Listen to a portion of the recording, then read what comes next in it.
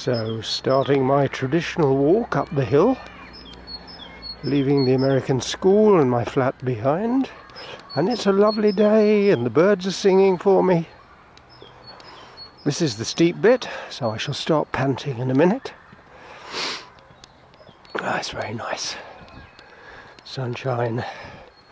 And the path is starting to dry out, so hopefully uh, it won't be as muddy. But the trees look really dead. Still, start of spring. This time next week, and certainly this time next month, it'll look different. Lovely day. Look at that.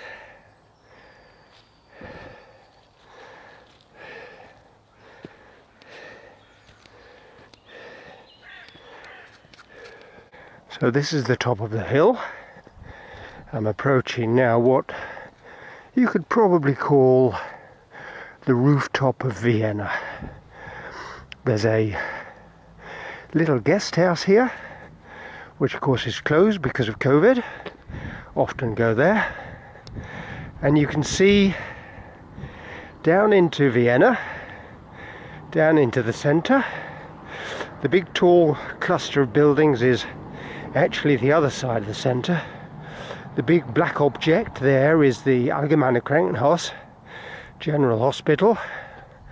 And on a good day, you can see as far as uh, Slovakia which I guess is uh, 60 kilometers to the east. It's a lovely day, but I'm afraid it's a little bit steamy. Hope it clears later. So visibility a little a little uh, limited, but uh, haven't seen anybody so far. I've seen a little bird. He's hiding in this tree somewhere. I think he's curious about me. Have I got any bread for him? Where's he gone to? He keeps hopping around but too fast for me to take a picture. Where's he gone? Naughty little rascal. Oh, there he is. Can you see him? There he is. Drying out now after the snow and wet weather of last week. Sun. And it's a lovely walk through the woods. And I've got the woods more or less all to myself. Hardly seeing anybody at all. And listen to the birds tweet.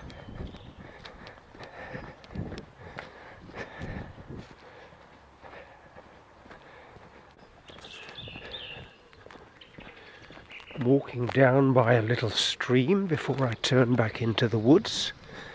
Uh, and these, uh, what looks like two houses here at the end, in fact is one house. Um, they were Bauernhäuser, peasants' cottages, so to speak, with a very big floor area. I think it's in the hundreds of square meters. It was on the market for 700,000 um, three or four years ago. I considered trying to buy it, unfortunately never did. You can see somebody has done a very good job of converting it. Brilliant windows in the uh, roof to uh, collect the sunlight, warm the house. What a pity I didn't get it. They've done a very nice job of that.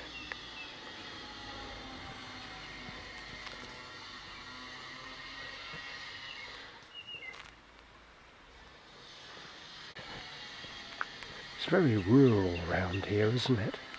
Bucolic almost, although I can't see any cows.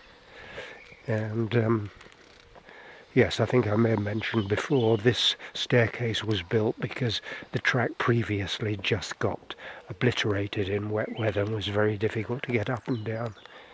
So now we have steps. And some winter flower here, not sure what it is. Very pretty, aren't they? Have a look at this.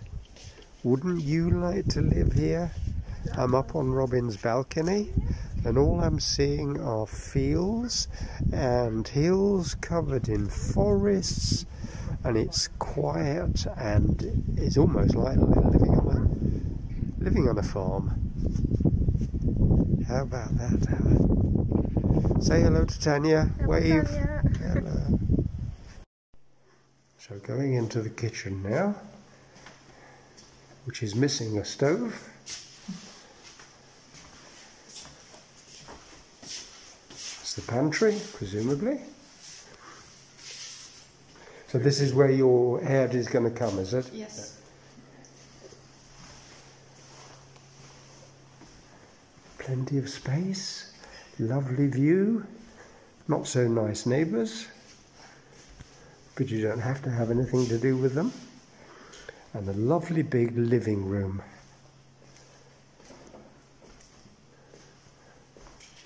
I wish Cornerways looked like this. So spring's coming to Austria. This is the first fine day. Robin's making a telephone call and I'm walking through the woods with Julia. Can you hear the birds in the background? We just had uh, deer racing across in front of us on the path. This is the first fine day.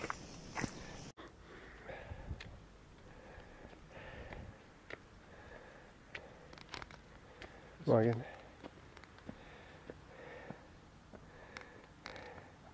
Gartensiedlung, garden settlement. Over there's a cemetery, thank goodness you can't see it. Also the house where I used to live, Michaelerberg. And we're going now up into the uh, Weingärten.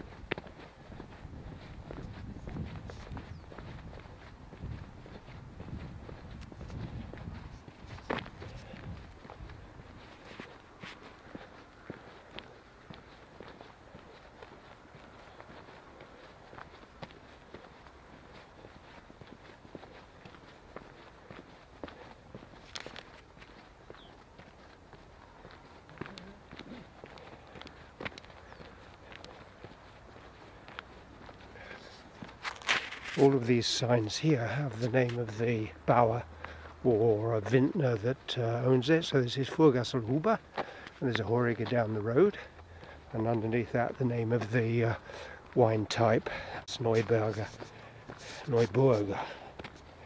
This is also Fuhrgassl-Huber, and these are his Chardonnay grapes. There's probably a lot of work to do in the vineyards now because spring's coming and growth is starting so I suppose there's a lot of tidying up, cutting, I don't know what to do. You can hear the tractor in the background. So this is Neustift down there, centre of my Viennese life for a long time, decades in fact. And an awful lot of this uh, of these uh, buildings uh, 20 years ago you wouldn't have seen them Unfortunately, it's getting very overdeveloped up here. I think people should stay away.